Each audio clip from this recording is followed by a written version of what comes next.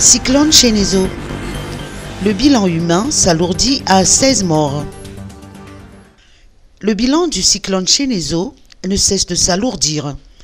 Le point de la situation provisoire, publié hier par le BNGRC, fait état de 16 décès et de 19 personnes portées disparues.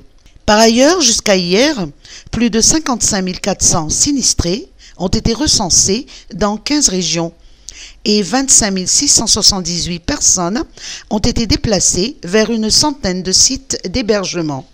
Par ailleurs, près de 13 500 habitations sont sous les eaux et plus de 500 sont entièrement détruites. Le réseau routier a également subi d'importants dégâts avec un nombre considérable de routes coupées et de ponts endommagés. Le dernier en date, le pont d'Ambalavoul de la RN6 entre Antchoui et Port-Berger s'est effondré hier matin.